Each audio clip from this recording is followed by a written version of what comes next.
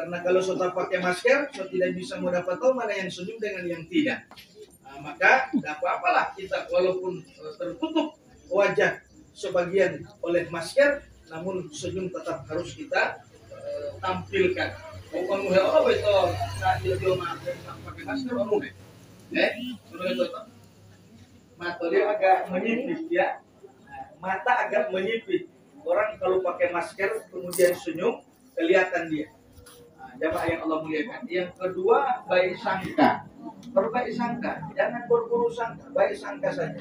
Lalu yang ketiga kita menjaga silaturahim. Maka mudah-mudahan malam ini dengan ketiga prokes baik jasmani yang kita terapkan, Allah SWT jauhkan kita dari wabah penyakit baik yang menimpa fisik jasmani kita maupun penyakit yang menimpa mental rohani kita. Insya Allah dijauhkan oleh Allah Subhanahu Wa Taala.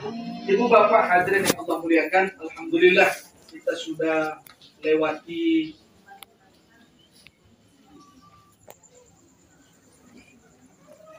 lembaran hidup di tahun 2021 dan kita sudah masuk pada lembaran hidup di tahun 2022 ini.